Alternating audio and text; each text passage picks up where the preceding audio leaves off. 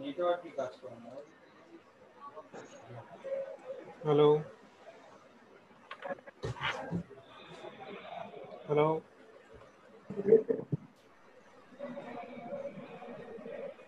Hello hello হ্যাঁ শুনতে পাচ্ছ? হ্যাঁ হ্যাঁ শুনতে পাচ্ছি।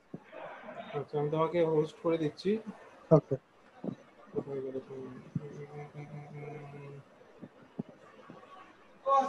হ্যাঁ। নেটটা কানেক্ট করতে পারছি না তো।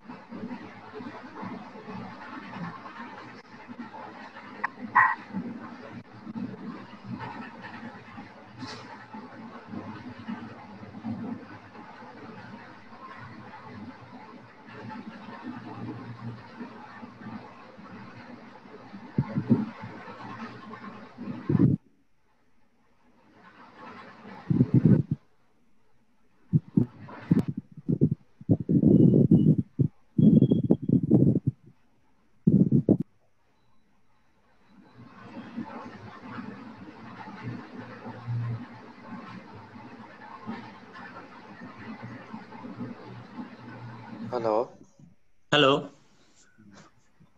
am I audible? Hello. Uh, hello, am I audible to everyone? Good afternoon. Good afternoon, sir. Good afternoon. Am I audible? Oh, yes, sir. Good afternoon, sir. Okay. Yeah, you're good audible. afternoon. Okay, just give me a sec.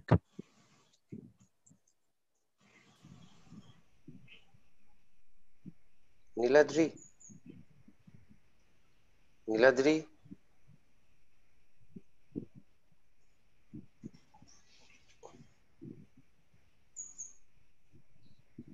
হ্যাঁ দেবেন্দা? হ্যাঁ হ্যাঁ। শোনা যাচ্ছে? শুনতে হ্যাঁ পাচ্ছ? শোনা পরিষ্কার? যাচ্ছে।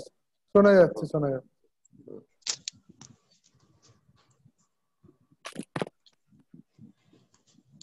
রাখছি আমি তাহলে। হুম hmm.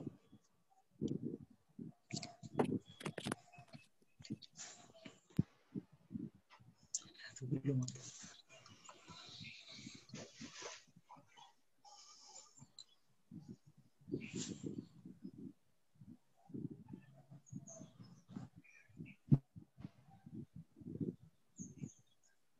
Hello?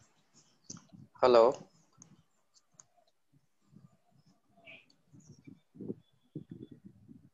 Is this the master class, Vijay? Yes, see. Yes yes ma'am I'm a student. oh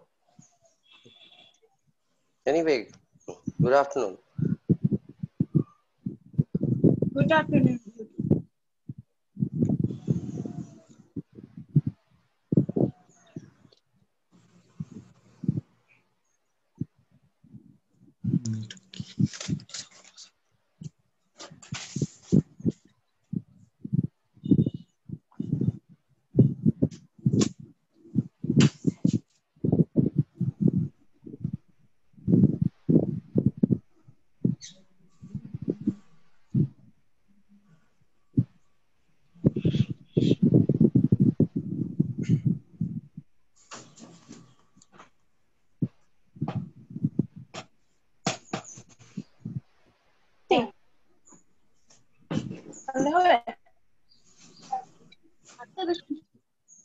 Niladri, you are the host.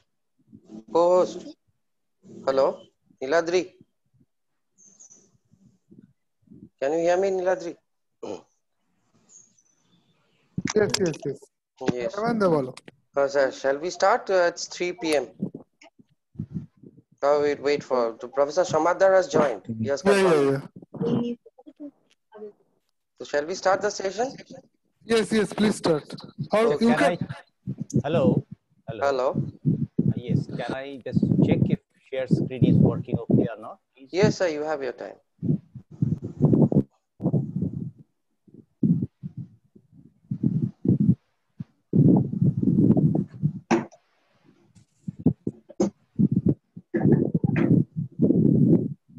Is it? Can you see it? Yes, absolutely fine. Thank you.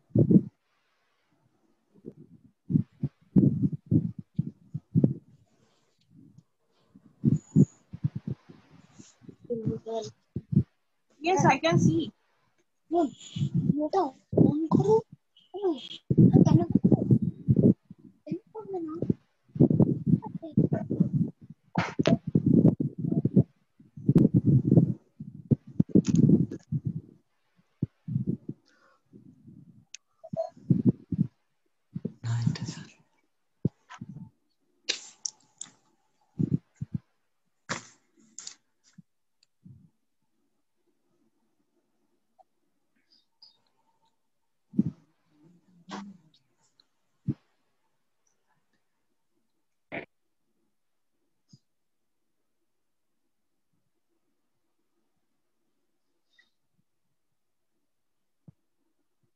Niladri?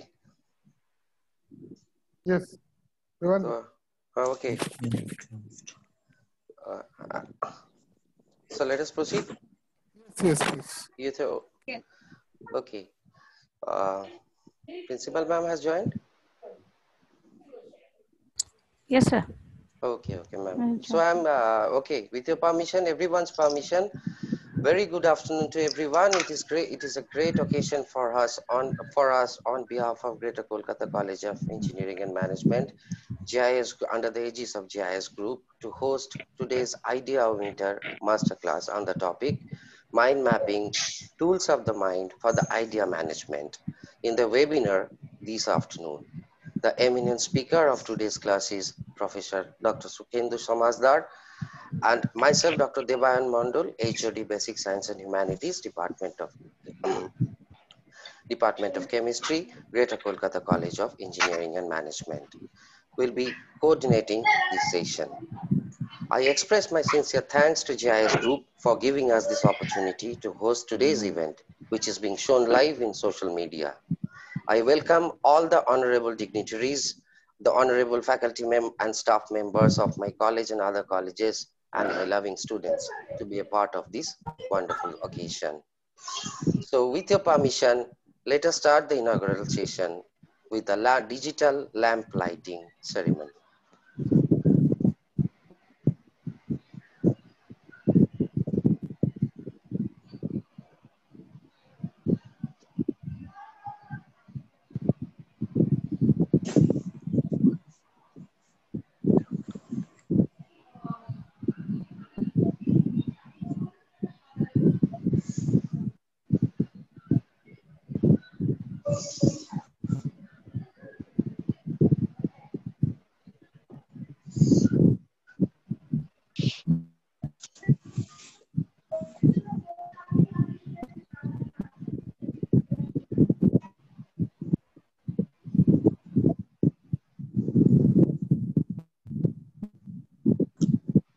Thank you, ladies and gentlemen.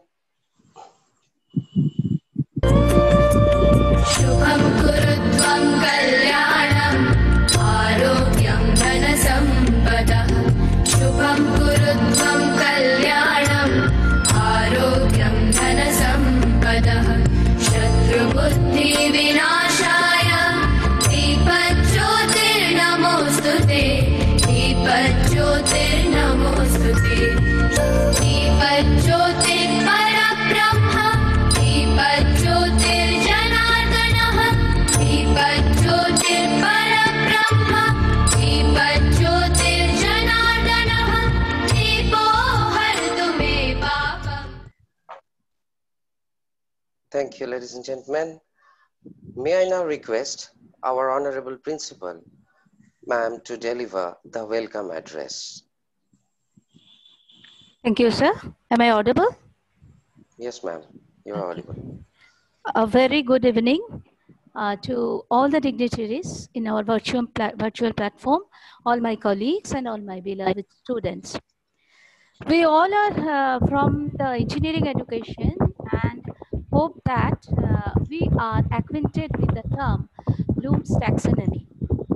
Bloom's taxonomy, uh, it actually explains the educational learning objective with six stages. Those stages slot to cognitive domain, indicating how brain um, processes information and thoughts. The goal of educator using this Bloom's taxonomy is to cultivate higher order thinking skill in students' mind. These six stages are uh, remembering, understanding, applying, analyzing, evaluating, and creating. The highest order of thinking is creation. And uh, creation that is very much related to innovation.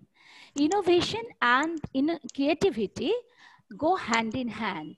And you cannot push forward and create a space for innovation among uh, our students without enhancing the collective creative skill. Wherever creativity goes, uh, and by extension, rather, uh, wherever uh, talent goes, innovation and economic growth are sure to follow. However, JIS Group, one of the largest educational conglomerate in India, always takes some leaps ahead in innovation. They have a unique concept of crowdfunding known as JIS Ideaometer, an online funding platform where creators can share and gather interest on a particular project they would like to launch. The main objective of JIS Ideaometer platform is to find the next generation entrepreneur uh, within the large JIS community. This is actually a first of its kind crowdfunding initiative intro introduced by any educational institute in Eastern India for its larger community members. Anyone belong uh, to JIS family, that is our students, faculty, and also um, our alumni member who are with us for the last 20 years, they can avail this facility. After team- teaming up with at least one JIS community member, any individual will also be entitled to submit projects at JIS Ideaometer. To cultivate innovation, we know brainstorming is very much needed and mind mapping is the right way to have it. A mind map is a graphical way uh, to represent ideas and concepts. It is actually a visual thinking tool that helps structuring information, helping us to better analyze. Mind mapping uses the concept of radiant thinking, that is, thoughts radiate out uh, from a single idea, often expressed as an image. Branches flow backwards and towards, uh, forwards um, from and to the central idea. Hence, today's masterclass of Ideaometer platform is on the topic, which is very much related, mind mapping, tools of the mind for idea management. In this regard, I cordially welcome Professor Sukhendu Samajdar as the resource person to, know, uh, to uh, throw some light on mind mapping. I'm confident that this session will be an engaging one and help us to walk in the path of innovation. We hope to host Professor Samajdar at our campus for more of such engaging sessions after the pandemic gets over. I take the privilege to thank Professor Samajdar for joining us and sharing his precious time. Thank you. Uh, over to Devan, sir. Thank you all. Thank you, ma'am. That was really enlightened speech. And uh, we are also very much happy to have Professor Samajdar amongst us. And before the session is handed over to him, let me give you a brief introduction of Professor Samajdar. Professor Dr. Samajdar is currently with Maulana Abul Kalam Azad University of Technology, West Bengal, serving as Professor and Director of School of Natural and Applied and Social Sciences and the head of the Department of Material Science and Technology, as well as Professor in charge of the Center of Linguistics of the university. He has about 25 years of academic and 10 years of industry and corporate experience. Professor Samajdar has 20 years of postgraduate research and work experience in the United States of America. Upon earning his PhD from the University of Michigan, Ann Arbor, he has opportunity, he has he was appointed directly as an assistant professor at a premier university in Ohio, USA. In the capacity, he engaged in collaborative research in material science with a group at MIT led by Professor John Vander Sande, and then Dean of Engineering at MIT. Professor Samajdar is well published in journals like Applied Physics Letters, the Journals of Material Science, etc. He has supervised many postgraduate students for their thesis and the dissertation and made presentations at numerous conferences in all continents. After his tenure in academia, Dr. Samajdar had a stint in the corporate sector of the US, notably at Toyota USA and Biomed USA. A BE from Jadavpur University and an ME with a first class first standing and a gold medallion from the Indian Institute of Science, Bangalore, Dr. Sukhendu Samajdar is originally trained as a materials engineer. However, at present, his interests are more versatile than specialized, including material informatics, creative pedagogy, incubation, and startup, as well as the role of humanities in science and technology. He was a recipient of the prestigious Nehru Cambridge Scholarship and was recognized by the editor-in-chief of the Journal of Material Science for thoughtful contribution to that journal. Prior to joining to Professor Sukhendu Samajdar served as the founding Honorable Pro Vice Chancellor of Kaziranga University in Jorhat and Assam. Thank you, sir. We are very much fortunate to have you us. And the next session is over to you. Here concludes the inaugural session. Let us proceed for the technical session. The session belongs to Professor Samajdar. Over to you, sir. Thank you. Thank you, Dr. Mondal. I doubt if I deserve that illustrious introduction. Anyway, uh, thank you and thank you, Principal Madam, for inviting me. These online platforms have done wonders. It has, they have brought many people together. They have basically made the learning community boundaryless. So on behalf of Maulana Abul Kalam Azad University of Technology and on my own humble behalf, it is a privilege to be part of an occasion like this. Today's topic is uh, mind mapping, as has been pointed out. Let me just. Uh,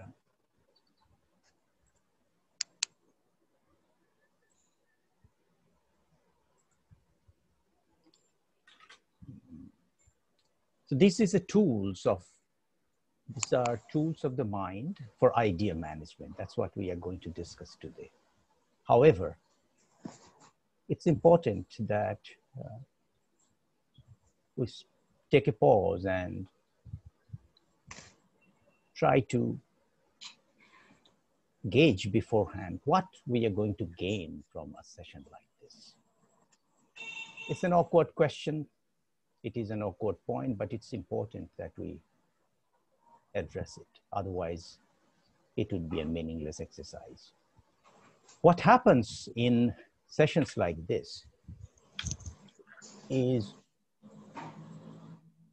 the audience is usually heterogeneous and it becomes a bit of a challenge for the speaker or the session conductor to gauge, not just because the audience is heterogeneous, but the audience is invisible as well.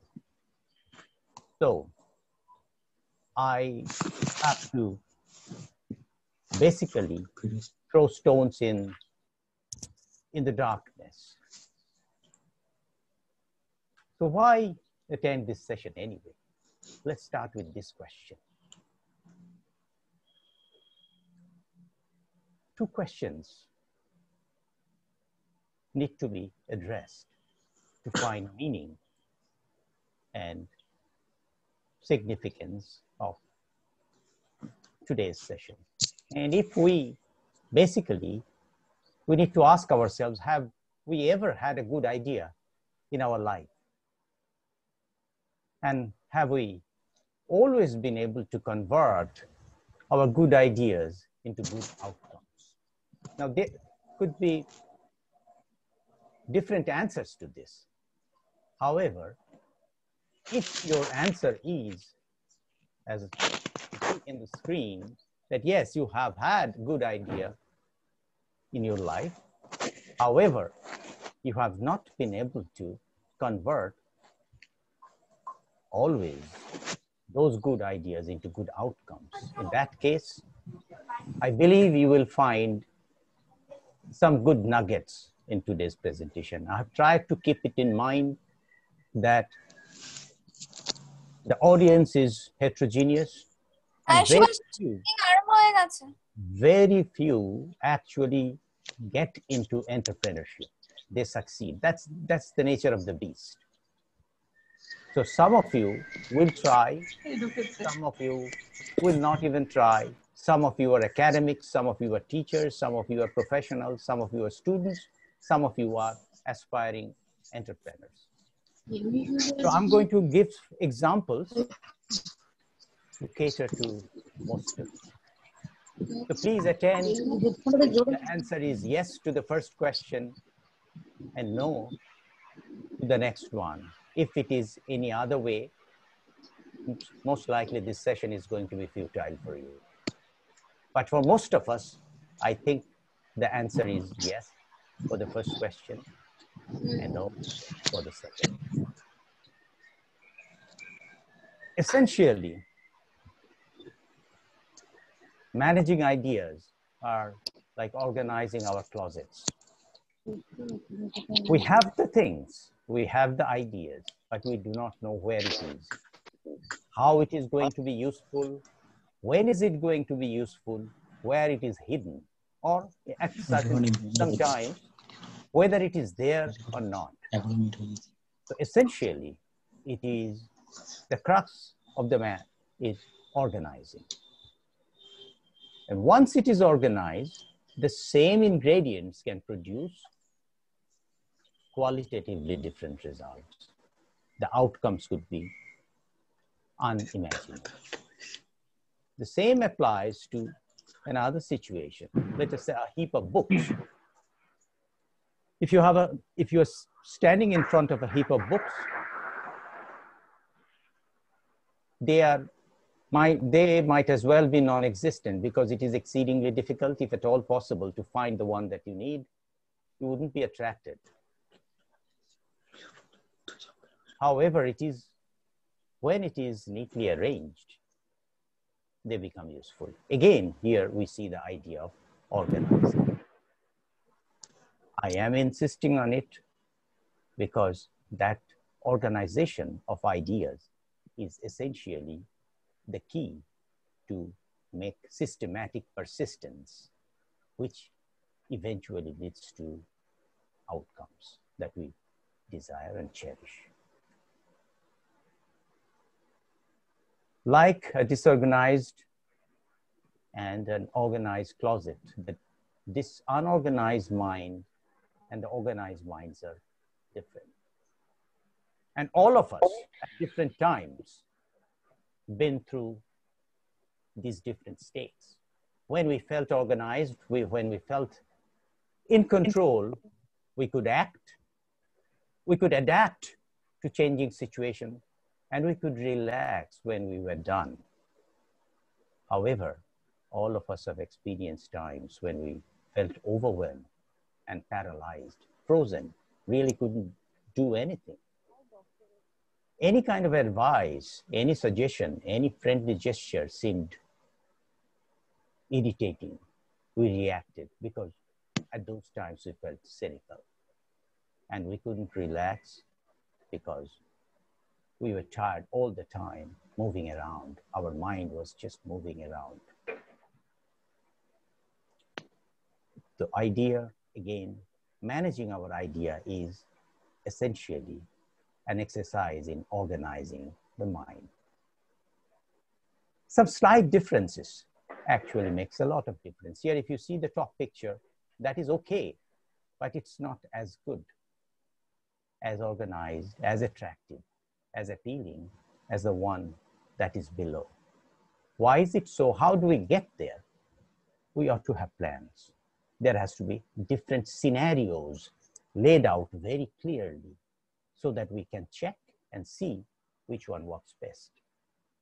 If it is not laid out clearly, we really cannot visualize, nor can we act. The same could be appreciated here. It is the same heap of bricks, which, when joined using a matrix, using a motor that holds them together, brick by brick, after hard work, it gives rise to an elegant and effective brick building. The same ingredients. So why the difference? The difference is there is a reduction in entropy, a change from disorder to order. And that's what we are after. When we manage our ideas, what happens? We start seeing the path and it energizes us and we start moving along it and certain creative aspects starts materializing. So that's essentially the idea in terms of common day activities, common experiences, which we can relate to. And now I'm going to get into a little bit of theory, if you will, followed by examples. The underlying foundation, there are two things actually. One is the mind, and the other is the idea. When we talk about managing tools of the mind or management of ideas, we are talking about ideas. So we need to know about the nature of the word idea, what actually an idea means. What is the nature of idea, the word idea? And the other thing is the nature of the mind. I would urge you to take a closer look because in these two visuals, the essence is captured visually. The nature of the mind, as you see, that it is not static. Any information that comes, it goes to different parts and it is interacting. So there is connectivity. Mind is essentially some sort of a network. The same actually is the case with the ideas as we will find soon. Now, how does the mind work? How does mind process information? It processes information in chunks, that is not in a piecemeal, bit by bit or byte by byte, the way computers do. Our mind actually remembers stories as a chunk. Our mind remembers memories as a chunk. So a picture is indeed worth a thousand words. And when you have a what we call a big picture, an overview, that is, hello? Is anybody saying something to me? Hello?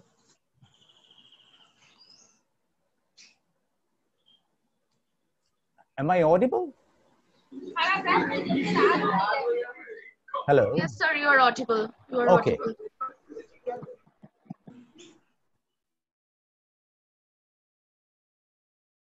Sir, you are on mute.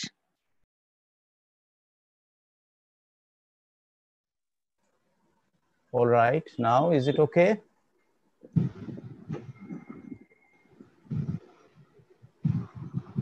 Now take a look at this picture.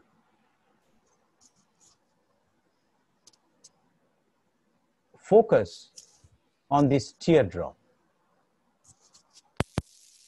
This is changing the entire aspect. This is changing the entire message. Otherwise, an immaculate photograph. This teardrop is giving a sense of something is happening in the mind.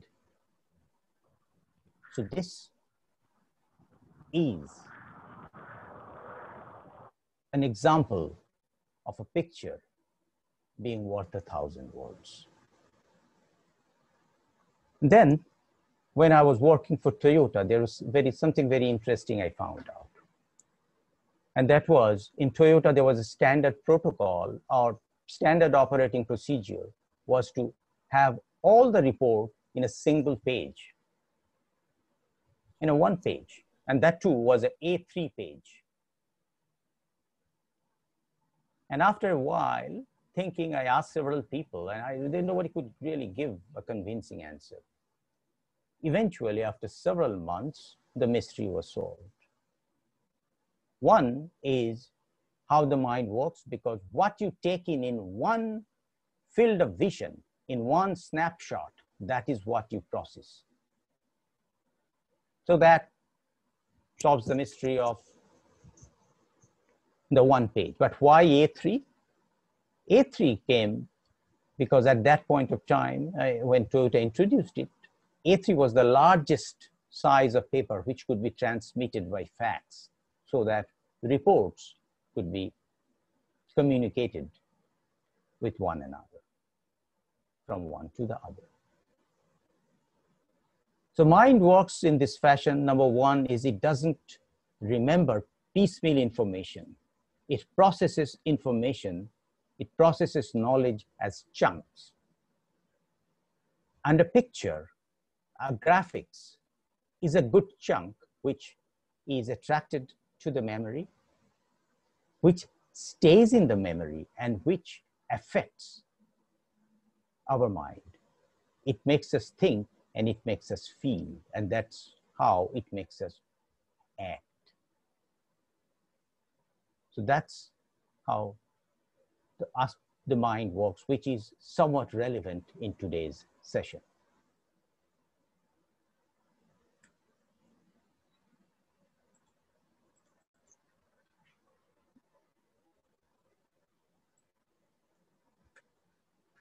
Now is the word idea, how the word idea works. What about the word idea?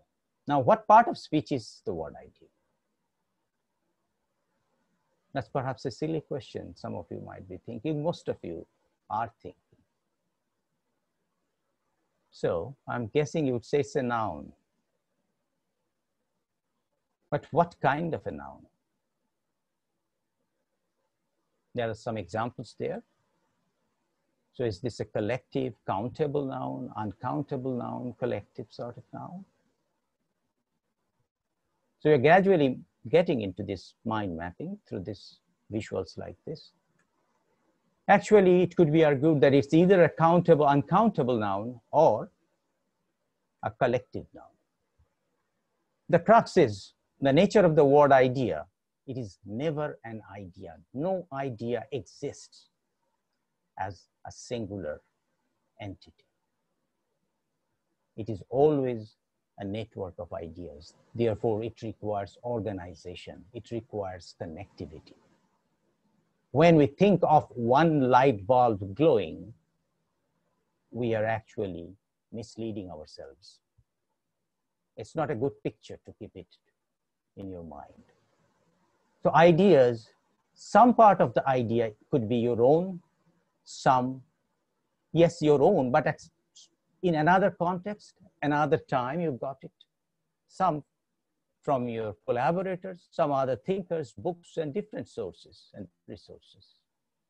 Some lead to dead ends and some to success. So whenever you or we think about ideas, let this network come to our mind, not the image of a light bulb. These are conventional images which again misleads us. Most of, unfortunately, I'm going to say something which is not very palatable, which is not very fashionable, but the fact is it is correct. Most of the conventional wisdom that's out there is not only inapplicable, not only wrong, but it's harmful. If we think that from the question mark to the idea to the solution is a single step process, or it is a very well defined stair like step by step, clean linear process, then we are making a big mistake. Life is messy. Anything that has to do with ideas, something as intangible, as complex as ideas, is messy. We have to ask, we have to think, we have to do. We first have to try to clarify the question. What the central question, the driving question, the motivating question, whatever term you feel is kicks, gives you the kick. You could use that. Then we try to get an idea, then we act and see if the idea is actually yielding any outcome.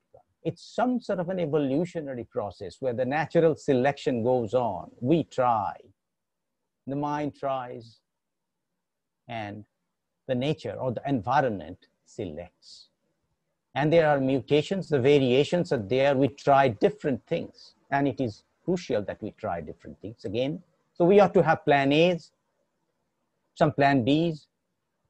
However, real life is always different from either plan A and plan B. It's much more messier. If we are thinking that we read something here, then we have an idea, we do a little bit of network, a little bit of trying, and we get success. Nothing could be farther from true. It is as messy as this, and we have to be prepared. Systematic persistence is the name of the game.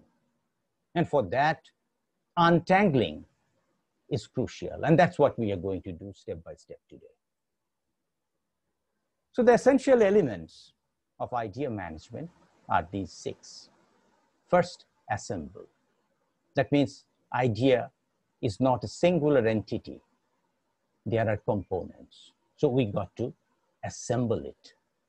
We got to be conscious about it, of the need for assembling ideas. Otherwise, we are not going to get anywhere.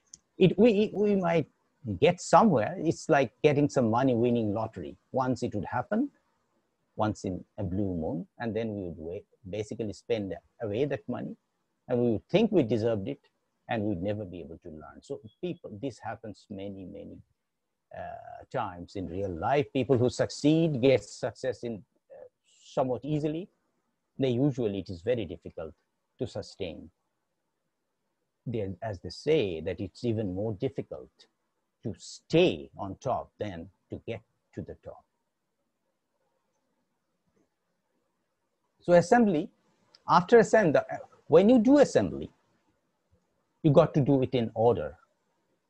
So again, the image of the wardrobe helps. If it is not done in order, the assembly is basically meaningless. It is not useful. And when you assemble the components, they are connected or related to one another. We ought to be trying at least to understand how those relations are.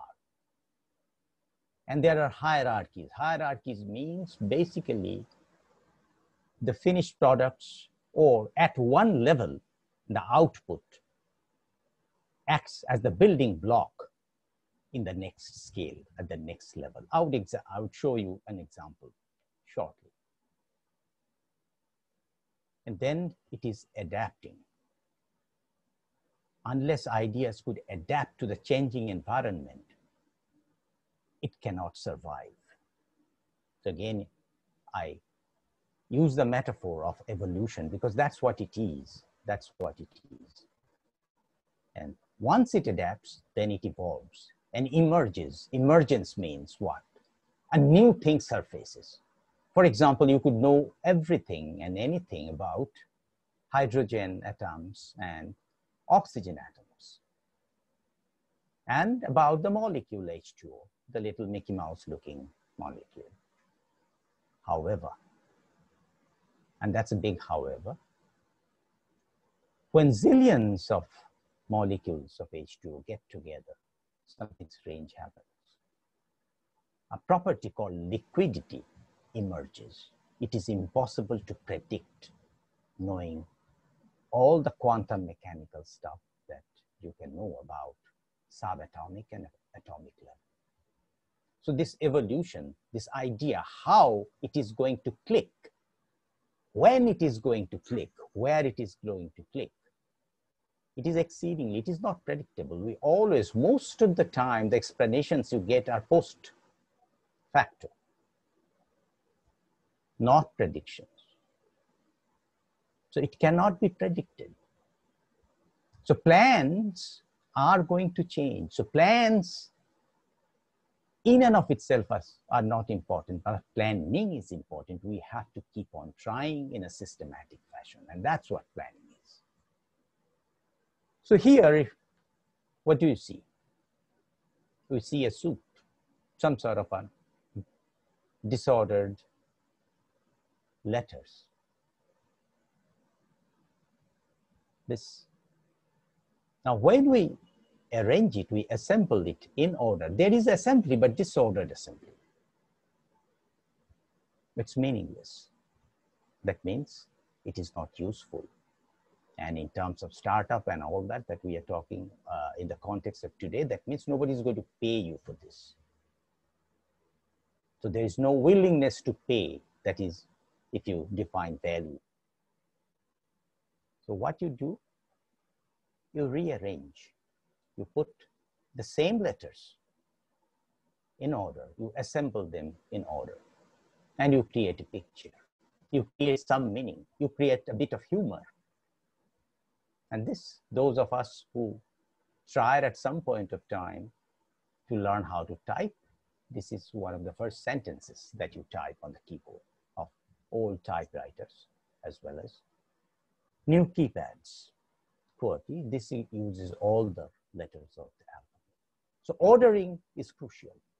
And when you go from order, now I would go give you this hierarchy. So order of one sentence is connected to the others. So let us see in hierarchy what it does when we construct several sentences, several words into a paragraph. Having eyes but not seeing beauty, having ears but not hearing music, having minds but not perceiving truth, having hearts that are never moved and therefore never set on fire.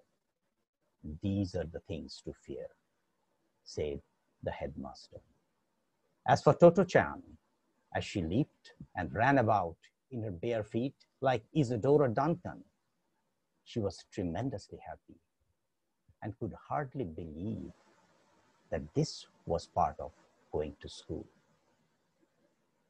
So this is a meaning, this is a feeling that is getting conveyed, that is touching us because the same letters, using the same letters that was there before in the top left corner, something like this have been constructed. So the elements are there. Now we need to really dig deep in, again, a systematic way. These are not flashes of inspiration. Things don't happen that way. Yes, we get inspired, but most of the time we really have to slog on. Writing a touching sentence or a paragraph like this takes tens, if not 20s, 30s of revision and correcting oneself. So mind mapping, what is it anyway? A mind map, as Principal Mann has pointed out, is a visual tool for structuring thoughts.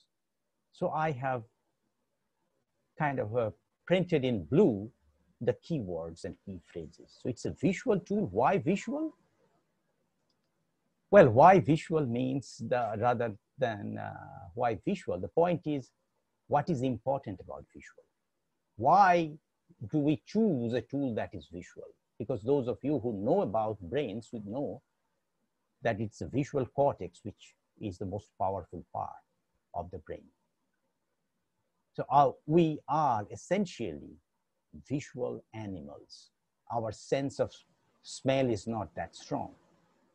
So we have evolved our DNA, basically the script of the life for Homo sapiens is such that we can process, we are designed to process visual information better than any other kind of information. Textual information is only maybe 10,000 years old. Visual information is there as long as animals have been there. So visually, instead of textually representing ideas, is much more innate, much more animalistic, and that's why much more organic, and it gets in us. It can be used on an individual level as well as a team-based level. And it's a hierarchical diagram. A, it has different levels. It has different layers. The diagram is focused on a single element that is the driving question or the motivating question. And ideas are written down, spreading outward, as again, Principal Madam has pointed out. Radiant is, if I recall correctly, is the word she chose.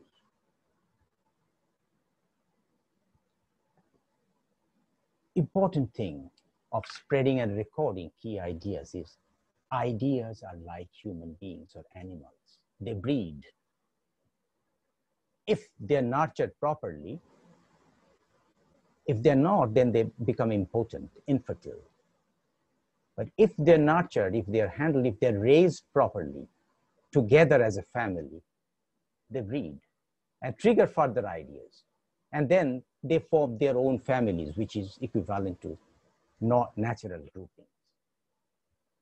So we all know this, but my purpose today is to bring this to our consciousness from the tacit and implicit subconscious to some sort of an explicit domain so that we can make use of, translate into action what we already know. So this is an example of a very simple mind map or concept map. These two words, there are some perspicative people who would argue that they are different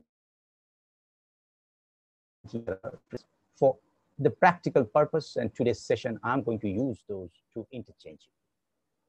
Now here, energy, as you see, that one can, there could be different viewpoints. You might be interested in storage. Somebody could be interested in generation and someone perhaps a bit theoretical or bookish might consider it from in the forms of energy. So there are different energy uh, ways of looking at it, different ways of storing it, different ways of generating it, and different forms. So this gives an overview or big picture that we have talked about. But it doesn't have to be in some sort of a fancy way uh, expressed in this fashion. This actually, I find it better. You start at the core, some in the middle. You start with a blank paper, preferably a chart paper. A4 size is not enough. Then you select the subjects, you use colored pens, main topics, subtopics, structure is important. Hierarchy is basically, it will start coming naturally as you start practicing. And this is, it's not just for people who want to become entrepreneurs. This helps. This is a very useful and effective technique of note taking. We always, most of us, are trained to take notes in a linear textual fashion. But in different parts of the world, I have seen they, these are taught actually how you take effective notes. And these mind mapping techniques are in use. And I'm actually happy nowadays to see here that even in India, here with the CBC, uh, SC syllabuses, NCERT books and their curriculum, they emphasize mind map.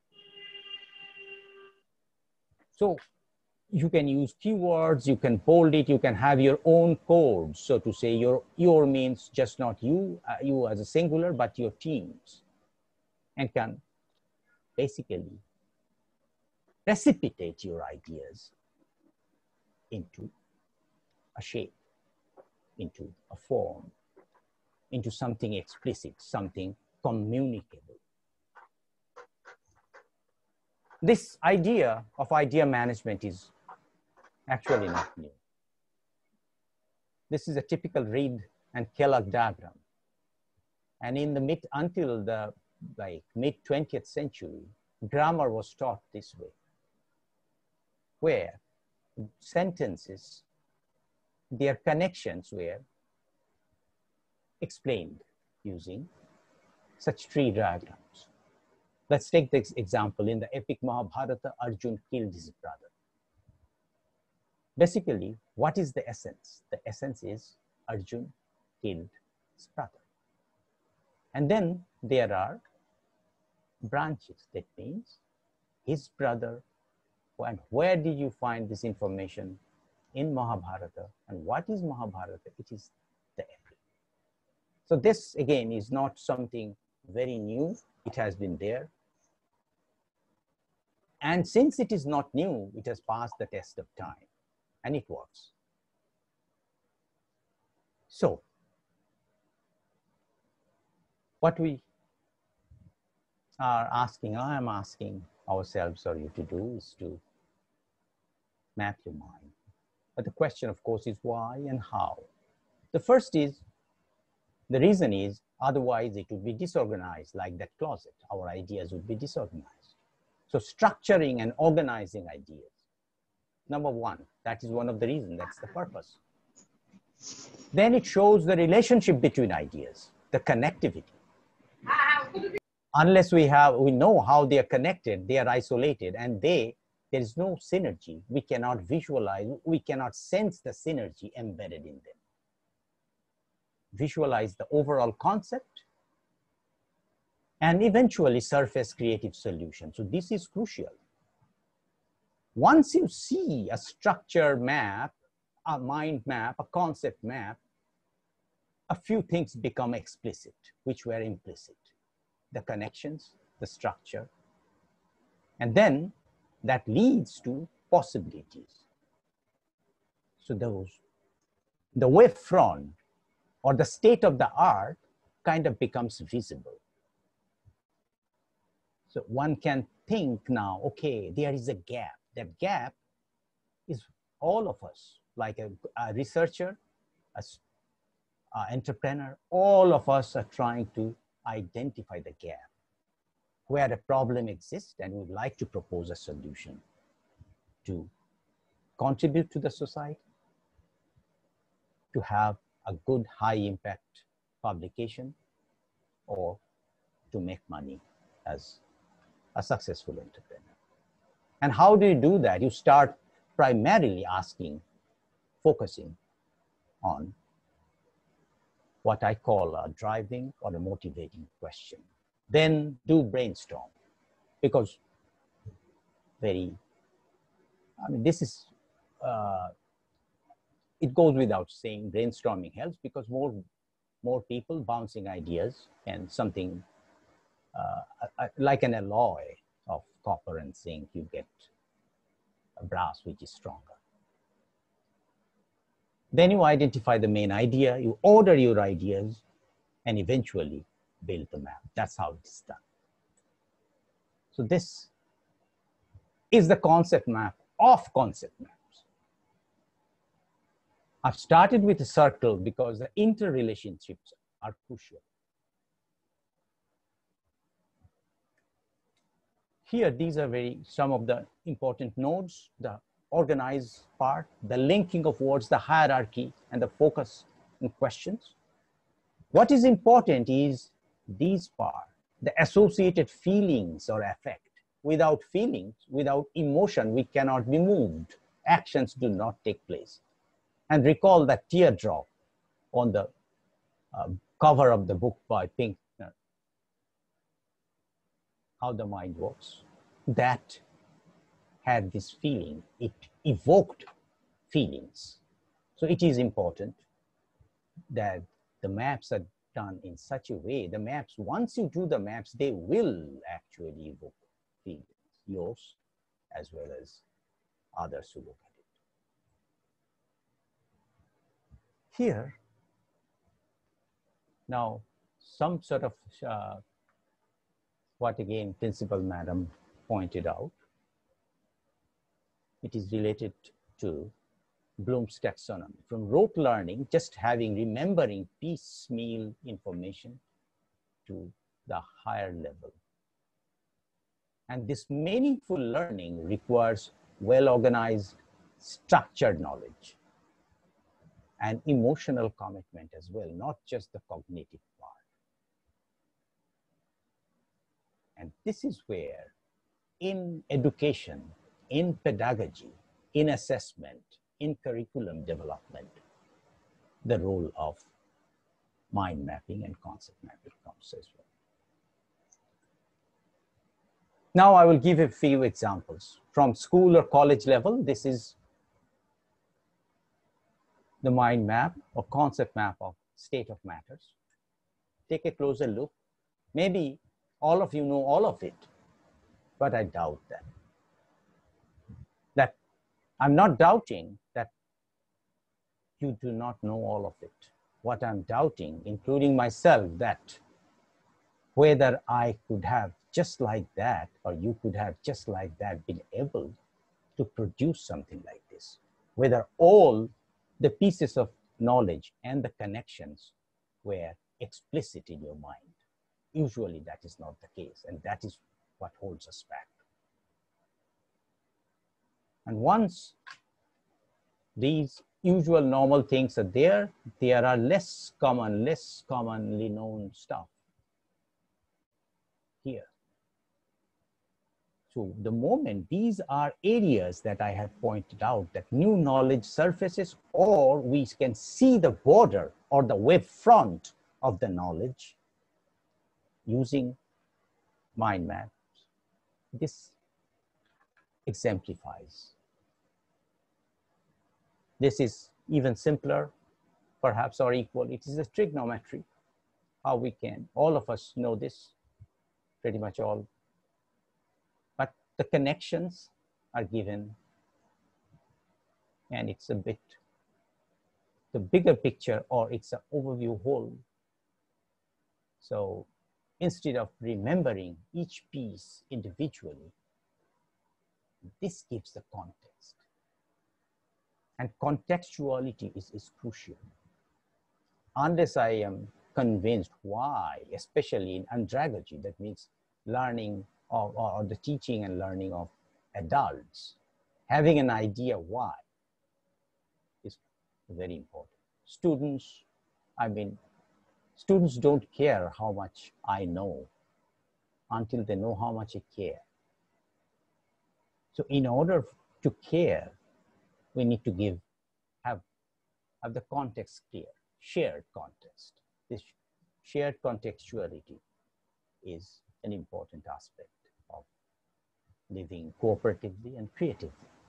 And mind maps and concept maps helps us along the way. In curriculum design, we could use it. So those of us who are in teaching and academic administration, this could be a useful tool. All of us know about this program, outcomes, course outcomes. We talk about this, but we do that mostly in disjointed fashion.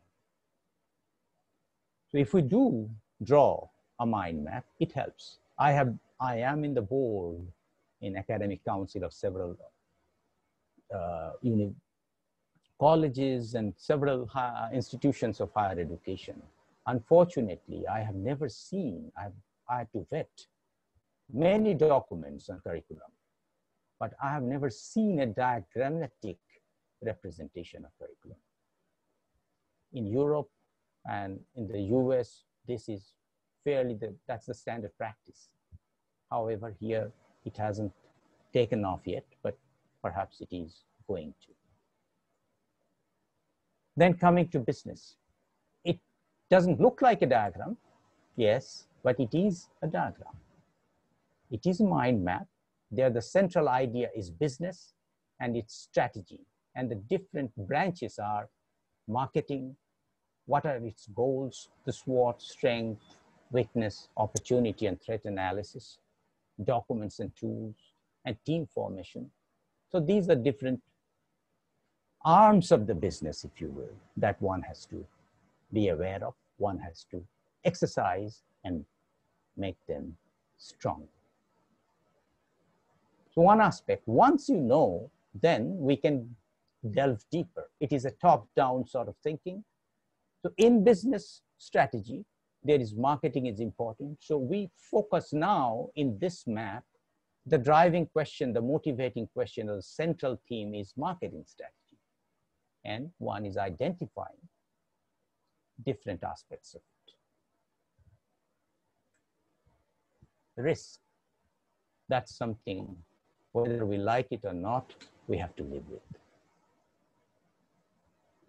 So we better understand it and try to manage it to some extent. So it helps to have a map. Map means clarity. Map means connection. Map means getting the bigger picture. Map means understanding the concept, knowing, you know, in the map, this point, the point X marks where you are. And that gives an idea that makes us somewhat better at or that increases the probability of going where we would like to go.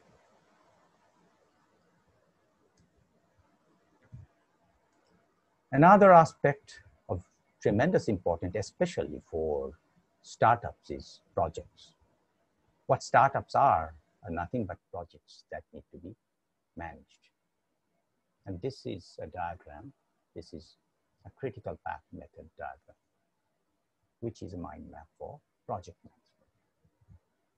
Projects are characterized by activities. Activities start and they have a duration and they have a finish time. There are, in a, even a reasonably sized project, there are hundreds of activities. And we are puzzled and literally bewildered. We do not know unless we put it clearly in a diagrammatic fashion using an effective tool what is important and what is not, what is critical and what is not. We might luck out as some of our gut feelings might come true, but most of the cases they fail. So scenario planning without explicit mind mapping or concept mapping using tools such as this PERT or CPM methods. There are software tools available to draw such things fairly easily. We cannot identify what is critical. And why is it important? Because life is full of uncertainty. I ought to know where the slack is. Let us say there's a wall. And if that wall is bearing load, if I try to make a window in that wall, the entire room is going to collapse. But if it is only a separating wall and there are supports in terms of pillars, which is bearing the load, I can cut out a window and take in the view. But if it is otherwise, it would be disastrous. So here, if there is a delay in one of the critical paths, one of the events which are part in the, which fall in the critical path, the consequences are going to be severe. So these critical events, the criti critical activities need to be monitored very carefully. We have limited amount of time, so many things uh, an entrepreneur has to do. So these are the ones on his or her dashboard, which are going to be monitored very, very carefully. And a mind map like the CPM diagram can help you. And you can play with it, uh, chalking out, looking at different scenarios, what variability would have, what sort of impact. Design thinking. Essentially, anything that is managed has is born twice, once in your mind and once in reality. And any experience or any product is basically is design, anything that is an artifact other than something in the nature. So here in design thinking, there are different aspects. And once those are laid out clearly, for example, prototyping, testing, ideation, then it helps to proceed in a systematic fashion. And it doesn't guarantee success, nothing does, but it increases the chance that you would come up with a better product. Your services will be more in demand and your chances of your the flourishing, the chances of flourishing of your business is going to be higher. Creative intelligence, there also you have originality, flexibility, note-taking, a variety of things are radiating out of it. However, what I like is this one. Even in writing, it helps. Writing subtitle, plots, themes, characters, the protagonist, antagonist, and secondary characters, and how you're going to, let us say if you're going to, if you're planning to write a novel, a map like this helps. And pretty much all the professional authors, they use it. There are software tools like Rationale, which helps building maps like this. So the plot is, is clear in your mind. The scheme is clear in your mind. The relations are clear in the writer's mind. Then we always talk about nonverbal communication in addition to verbal communication. But what are they? How do we really pay attention to nonverbal communication unless we know what the elements are? So having a list like this helps. Facial expression, humor, eye contact, the loudness of the voice, gestures, postures, tones and sounds, touch, body language. If these are laid out like this, next time, perhaps it would be easier for me to pay more attention to nonverbal communication than if it were not laid out. Now, let me give a few examples. I'm, I'm, because I'm apprehensive. I'm suspecting that some of you are thinking, do you, those are silly examples. Nobody in real life they actually uses it. Here are two examples. This one, Walt Disney, 1957, actually used the map, mind map. This is the map.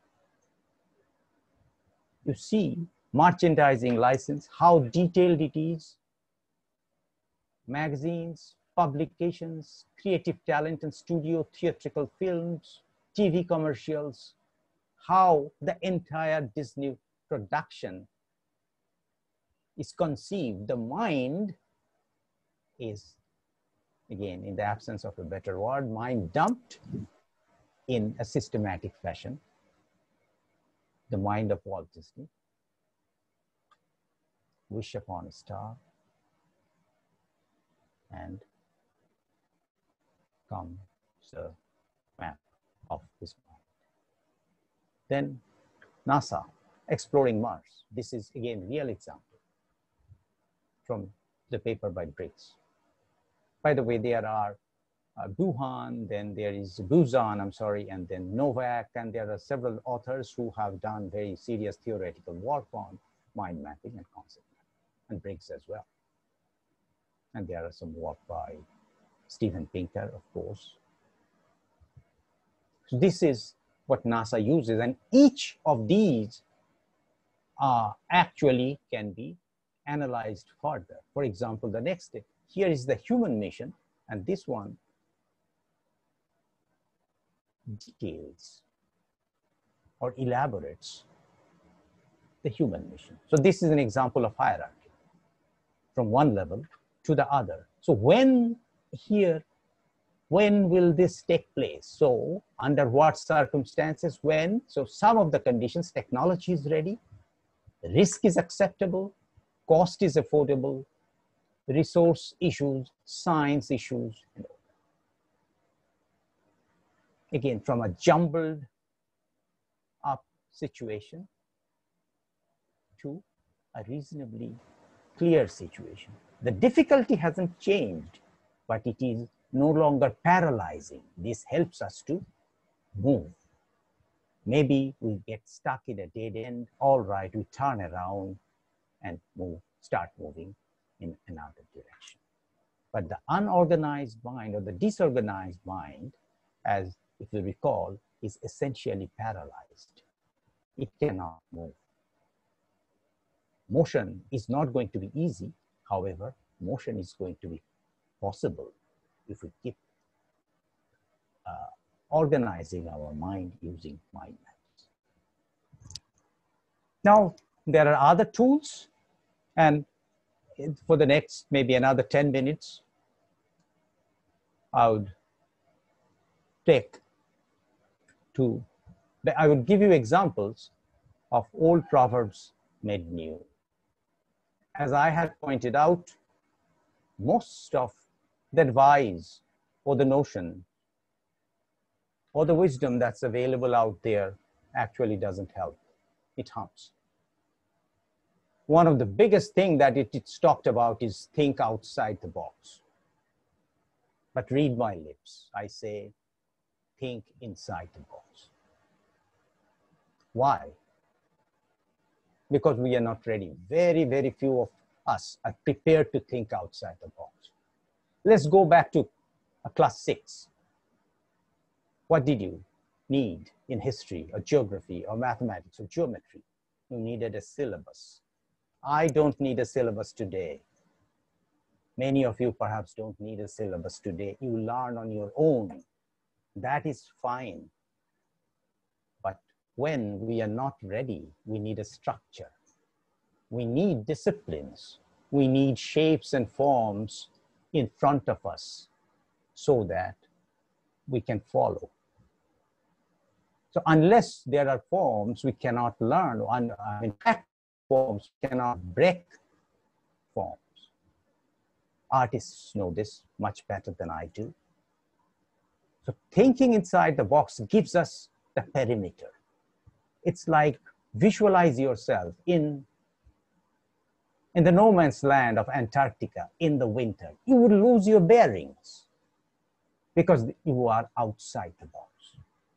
So it sounds good, it's fascinating, but it's actually, in most of the cases, thinking outside the box is useless.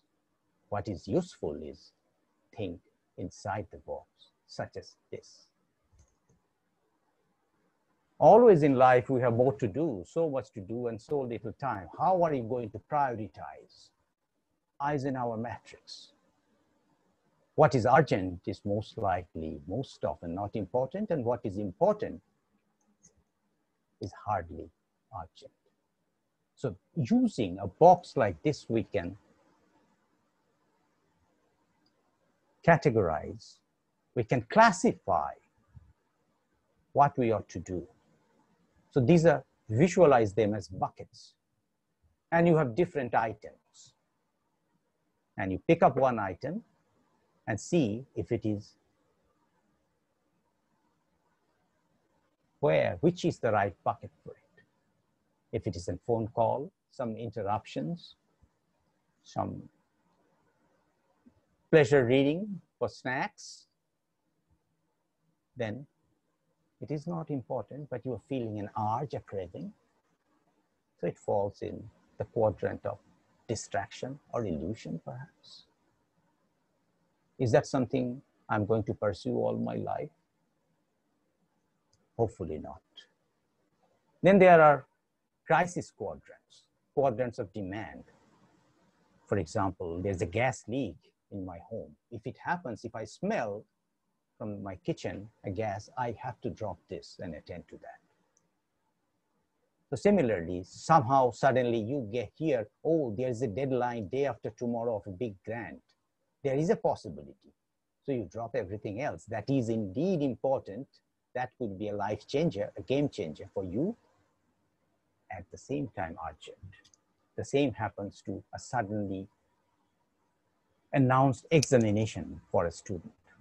Or suddenly we saw my dream job advertised somewhere and the deadline for submission of the CV is by midnight today. So that's urgent and important. The worst of all is this, the quadrant of delusion or escape. Basically, mindlessly watching television, binge, binge watching, or doing Facebook, so uh, all sorts of other things. I, I have nothing against Facebook, but just uh, basically meaning, I mean, activities which are addictive, which are harmful in the long run, and which creates, which are attractive in the short run. They are neither important nor urgent, but we are hooked. And that's why it is called addictive. What makes you a more effective person, a more successful person is being in quadrant two, the zone. Now, how do you do that? That is, focus on something important before they become urgent. And there you can relax. It is an organized mind which can try to do this and stay effective, uh, stay engaged and be effective at work. Yes, be relaxed and have a good night's sleep. Now, we, all of us have 24 hours. So how do you do? You shift the boxes. So basically, the place to start in managing time, oops, I should correct myself. That's another wrong thing that we usually do. We cannot manage time. Time flows at even pace. We manage ourselves. So time management, I think, is a misconception. It's a misnomer. We should say self-management, our activity management.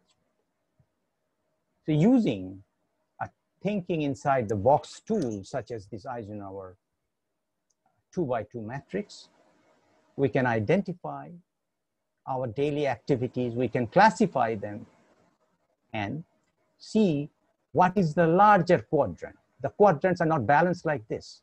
Mine might be mostly quadrant four, yours might be mostly quadrant one or two. So the way to live an effective life, a better life, a fulfilling life is to shrink quadrant four and expand quadrant two. The other one is prioritizing your effort in terms of the rewards. So we have values, we can have, we have activities which are low effort or high effort, low value and high value. Yes, high effort, high, high value activities with high effort is okay, but it's not fun. High effort with low values, low, is really backbreaking. This is Yes, you might be thinking you are doing a good job, but really nothing is happening. So we got to aim properly. And again, in order to aim, we need to classify. And there again, this thinking inside the box or the square or quadrant or matrix, whatever term do you like, it helps. These are the ones that we should choose and they'll pick the low hanging fruits first. Try to identify activities or projects which could yield decent value with minimal amount of effort.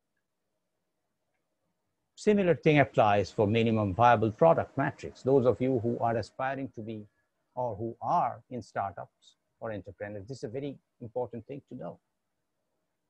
What is a minimum viable product? You include the features which are urgent and important and you eliminate the ones which are not important. Unless you know, unless you eliminate certain things, certain features from your product or services, your chances of success is going to reduce. It's going to come down. So what is not urgent? You might want to have a plan. So, okay, in the next version, you are going to include that. And what is not important, it could be outsourced to another party. So these are certain examples of thinking outside or inside the box. Then we come to the power of the checklist. Checklist means having things laid out in the form of either as a list or as a table. And again, that helps because it does the same function as the map by making things explicit rather than embedded in our mind in an implicit fashion. Once they are implicit, they cannot interact. I mean, if they're when they're implicit, but once they're explicit, they are being born and they can interact and they are capable of giving birth as well in course of time.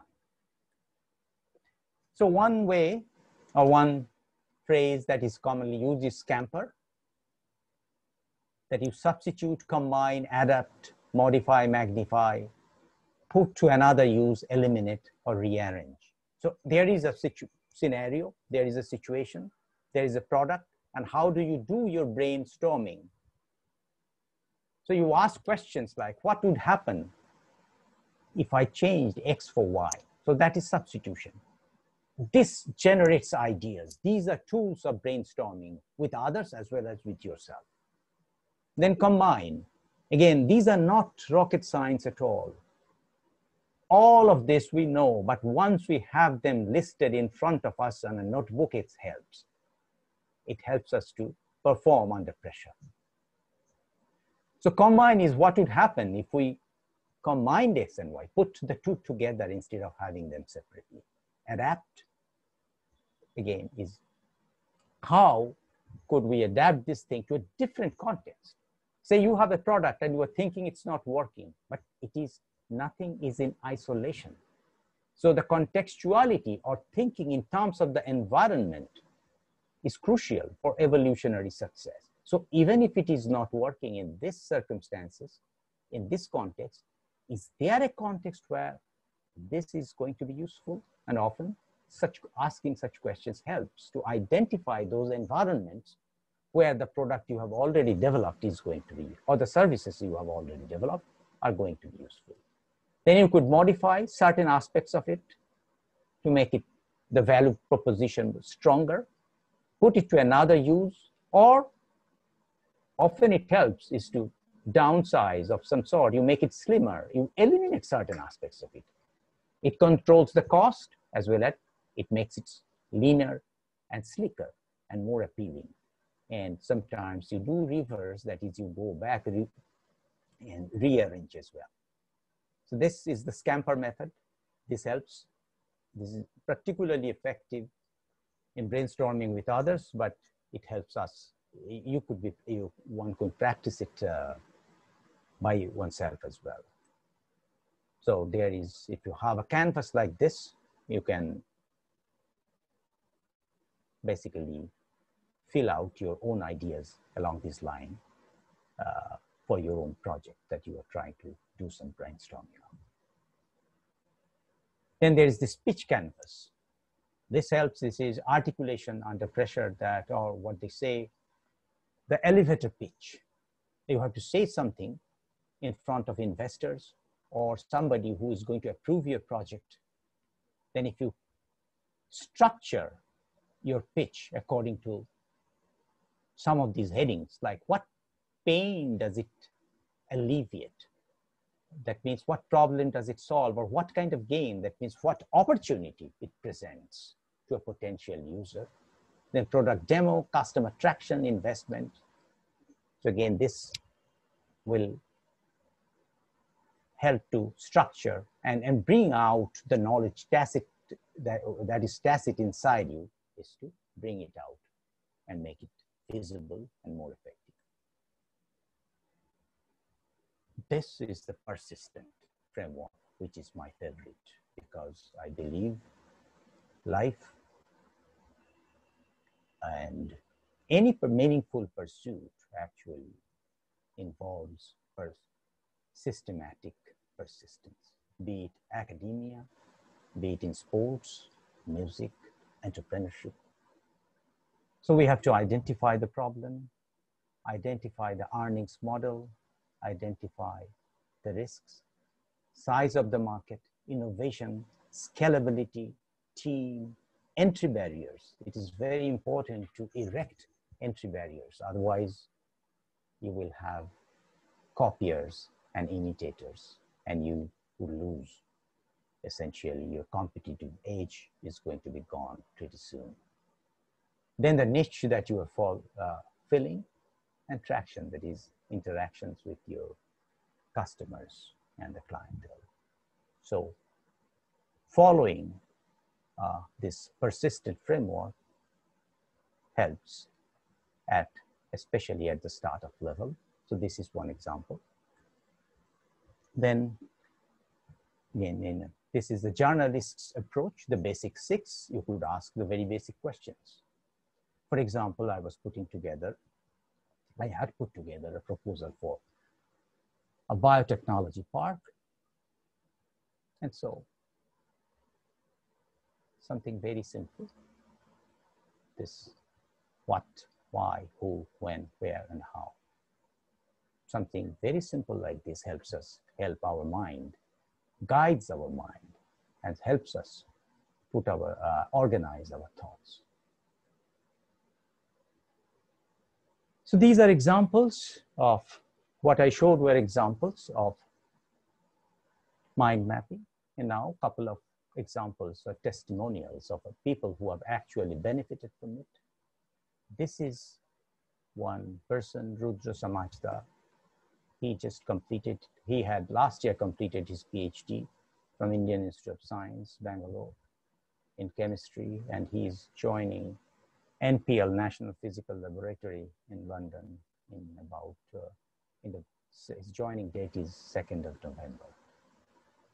So he, during his research, has found the idea or the practice principles and of uh, mind mapping attractive and practiced it religiously. And it helped. So this table of contents, for example, or these drawings that nowadays that have to be given part of your abstract in many uh, reputed journals, these are, in a sense, representations of mind map or the concept map. Now this kind of, these are neat, especially this paper, this work on, on the battery uh, lithium cell, some certain cells that he worked on, his actual mind map looked like this. That was the rough, you can, see, you can see the fold of the full-scale paper. A single, usually a single uh, A4 size doesn't help. You have to have a larger paper. And this is the actual one that he used. So this is an example from a research, successful researcher in academia. Now I go to a successful startup person or someone who aspiring startup person who has secured a good grant. This is Dr. Dhanwal Kumar Swami. And his company is called Glorious Phyto Labs Private Limited. And he is proposing a new way of producing phytochemicals. I don't know nothing about the subject in the sense that I'm neither a pharmacist nor a chemist. However, what I could see here is a logical diagram where different issues have been marked with different colors and a pathway, a systematic and organized approach is visible. Things are written here as well.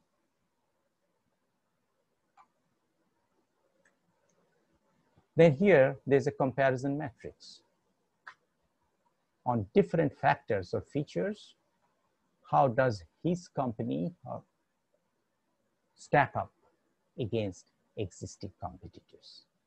Again, this is not rocket science, but making, giving you an overview in a clear fashion so that one can make a judgment. One can assess the probability of success, whether it has value, his proposition has value or not.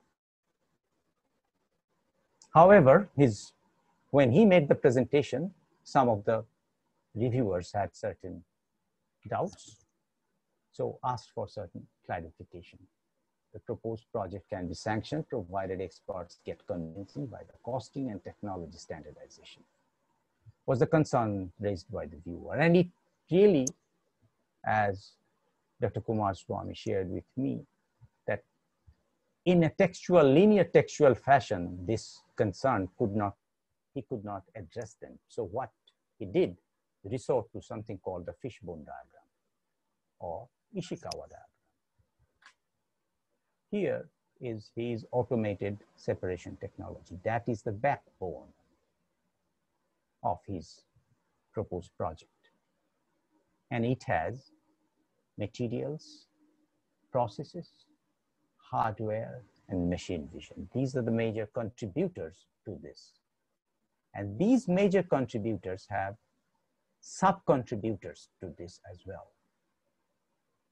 So once he's, when he is actually thinking, this is going to help him to think how to execute the project and how to control the quality. So the effectiveness, this Y is a function of so many X's. So this is a quality tool that has been introduced and popularized by Ishikawa of Japan. And that's, uh, again, that's one representation of uh, mind map or concept map, and it helps. So here, this is his business model.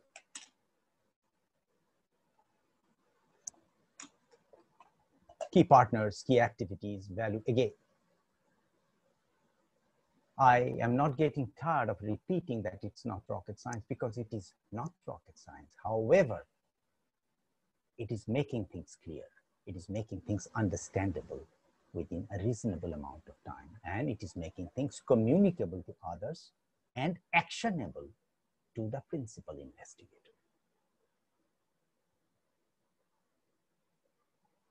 The timelines. Again, a picture is what, a thousand words. And the reward after stumbling on the first attempt was getting a grant of 50 lakhs for 18 months.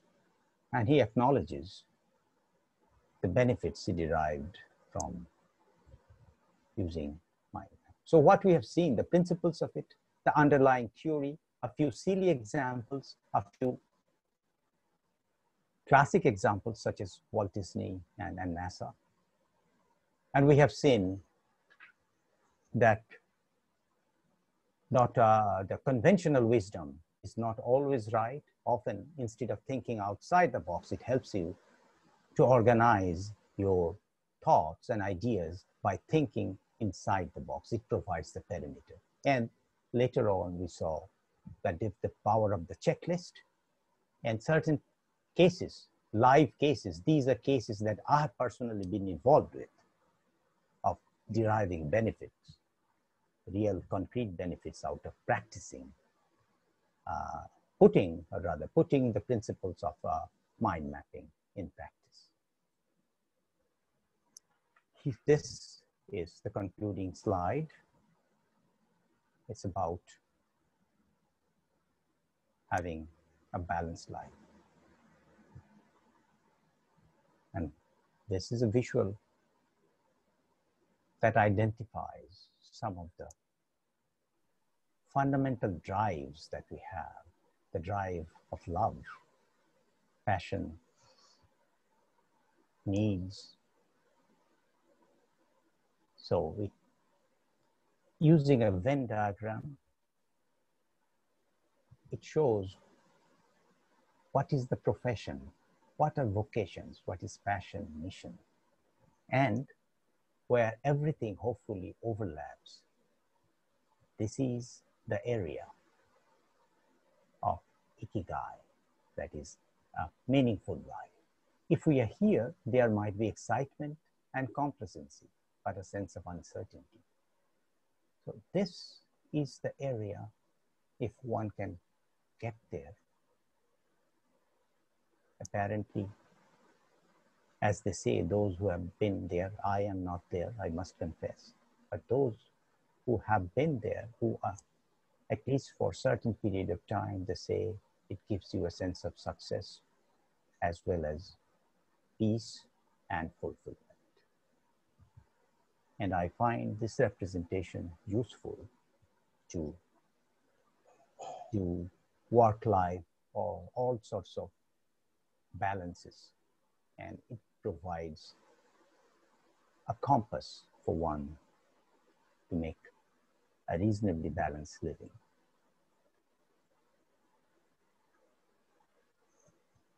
Thank you for your time. And uh, this, uh, I am involved in providing mentoring for aspiring incubatees or those who are involved would like to do some startups and entrepreneurship. So I give you there my contact numbers are there. So if I could be of any use or any service to you, let me know. I appreciate it.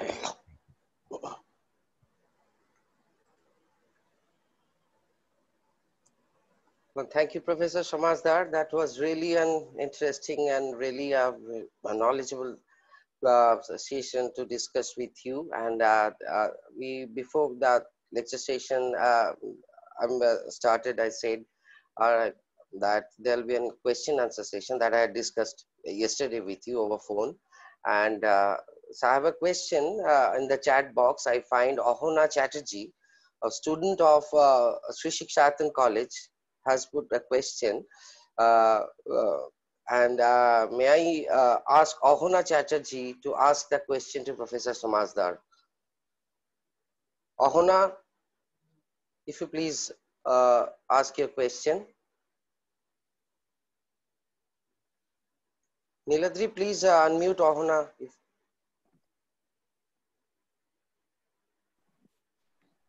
Very good afternoon, sir. Sir, actually, you just gave a good session, very much utilizing session, and you just provide us the notions regarding the mind map. How can we execute anything with the help of this mind map? Mind map. So while answering some uh, certain type of questions, which is very much debatable in kind of uh, in kind of a way which uh, we don't know, it must need to be certain or it must need to be specific. So we need to answer it from the uh, from the start of the introduction and then end it from this uh, from the start of the conclusion and go at its end. So why do we need mind map or over on this uh, over on this writing answers on that questions? Like why it is uh, why mind map uh, mind maps are very much significant by writing debatable questions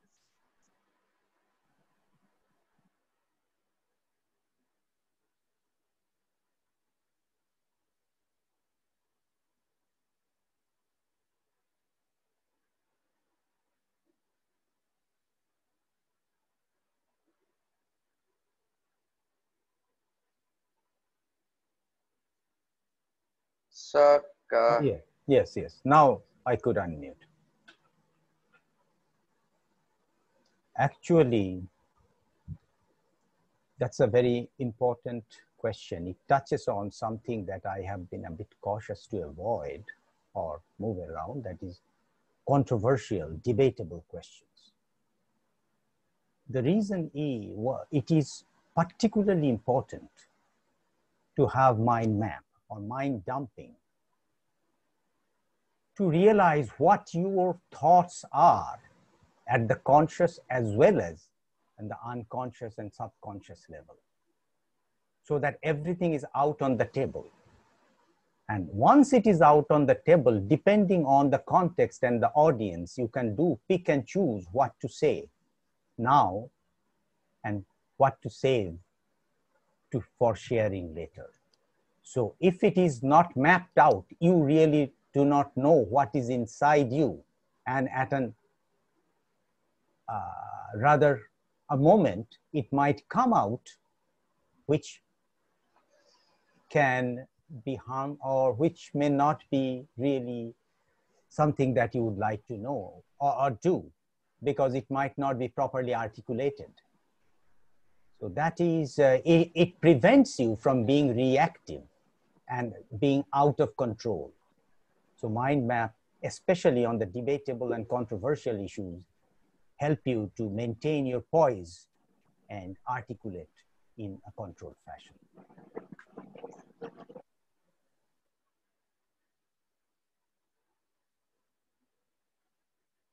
Uh, Ahona, I guess you, I, you have got your answer. So I'm requesting anybody who's having any question to Professor Samajdar, he's free to answer your question from the listeners and the participants.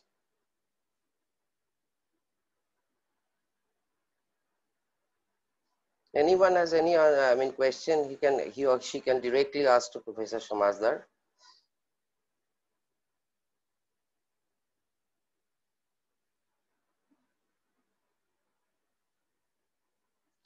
Well, sir, Ahona is having another question. Ahona, please go ahead. Well, well, I have an another question, like regarding the idea when we we are gaining idea from something from any kind of sources, we we cannot have the capacity to utilize it, how to execute that thing. So it's depend on the man to man. It's very on the man to man qualities or capacities. Like I am having the idea just like any other person is having the idea. I am having the same quantity of brain amounts just like Einstein had. So, but I didn't have the, the, the proper gesture or proper positions to, pro, to prosecute these ideas. So how far the mind map will help us?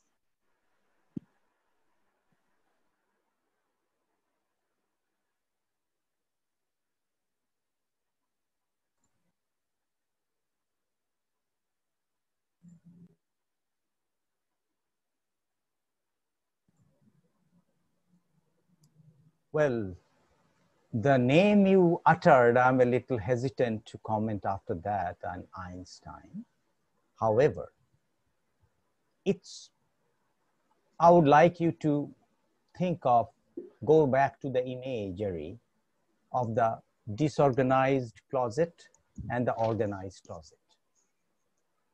So often we do not know what we know unless we articulate it, put it on paper, or put it on any media. You make a movie or you do a painting, whatever it is. So what you are capable of, you are demonstrating it to yourself that I am capable of this. So your ideas are becoming visible and palpable to yourself. And that is one of the major, most important benefits of mind mapping, that it, it acts like a mirror. It helps you to take a peek inside your mind. So that way you know I have it. So it's like exercising to some extent. I can feel my muscles while I do the exercise.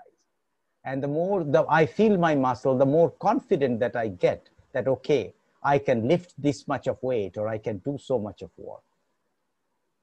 So in a similar way, mind mapping helps you to see how much, what is in there and essentially plan out to exercise those, translate those, what is in there into action. And this, why would you do that? Or what is the benefit in one way? It helps you build your confidence. It helps you build your confidence. You know what you are capable of. You know what's in uh, out there. Otherwise, always there is a self-doubt. Always you feel, oh, a bit tentative. So once it's out there, it is, it's kind of precipitated on paper or on some medium, it gives you more confidence.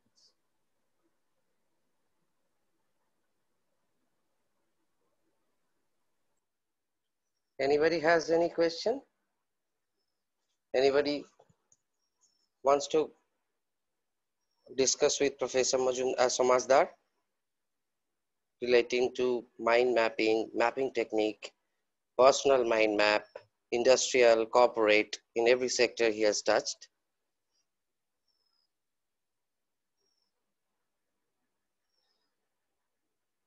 If you don't have any question, then I have a one last question.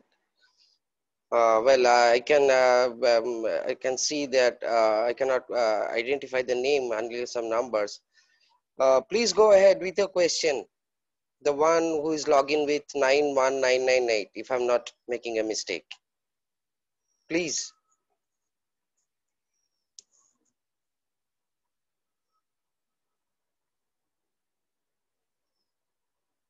Hello.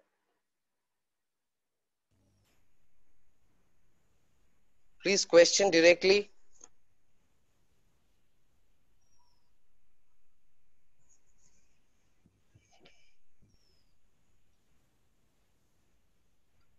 Hello. Well, I think uh, he has, uh, uh, he or she has disconnected. So uh, mm, let us conclude the session.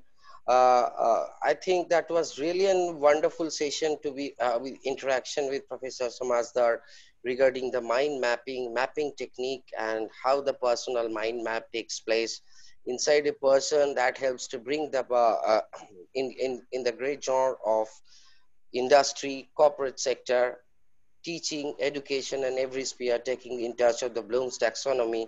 That was our principal ma'am had said earlier. And uh, we are really fortunate enough and thankful to Professor Samajdar to share his time, valuable time. And I'm thankful to JIS Group, JIS University for giving us this opportunity to hold this Ideaometer a platform, which is really a wonderful effort by the group to promote the educational in uh, entrepreneurship excellence. And uh, I hope Professor Samajdar will be available in our next ventures. And it was really a wonderful interaction with him in the Zoom platform. And physically, we would like to uh, meet more. And I'm thankful to every participants here, all my fellow colleagues of my college and different other colleges, my beloved students, uh, to be a part of this program. With this happy note and taking your permission, I'm signing off and hope you have enjoyed the session. Stay well and stay safe.